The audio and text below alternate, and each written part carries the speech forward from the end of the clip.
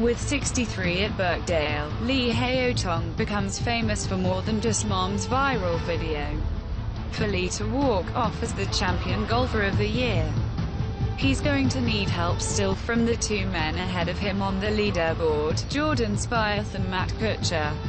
Li's final day score put him in the clubhouse at 6 under 274. It would seem to be close, but not enough to win.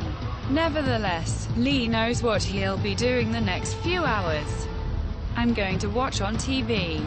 Like all of you, the Shanghai native turned pro in 2011, at the age of 16 and has one European Tour win to his credit, last year's Volvo China Open.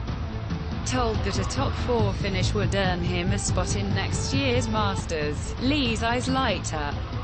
Wow, that's a nice gift. He's also put himself in position to challenge the record for the best open finish for a player of Asian descent. That mark is held by Liang-Huan Lu of Taiwan, who finished runner-up to Lee Trevino in 1971. And where was that open? Coincidentally at Royal Birkdale.